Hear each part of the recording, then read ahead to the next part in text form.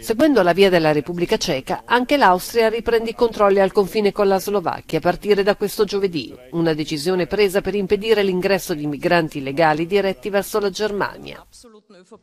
Come sottolineato dal cancelliere austriaco Karl Nehammer, sono misure che dipendono da un effetto domino. Ecco perché bisogna reagire prima che reagiscano i trafficanti di esseri umani e quindi di immigrati clandestini. Una norma che segue la reintroduzione dei controlli al confine slovacco da parte della Repubblica Ceca.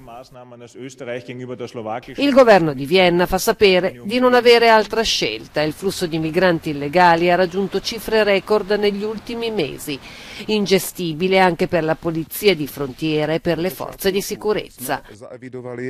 Dall'inizio dell'anno abbiamo registrato 140 reati, mentre sono 125 i trafficanti indagati, ha fatto sapere il capo della polizia ceca. Questi sono numeri che non si sono mai registrati nel nostro paese. Un confronto lo si può fare forse con l'ondata migratoria del 2015. Quest'anno abbiamo fermato però oltre 12.000 migranti illegali, quattro volte di più rispetto a sette anni fa. Intanto a Praga gli immigrati si sono radunati in un parco intorno alla stazione ferroviaria principale. La maggior parte arriva dall'India o da paesi del Medio Oriente. Come quest'uomo siriano, dice di essere scappato dalla guerra. È difficile vivere in un posto dove ci sono conflitti.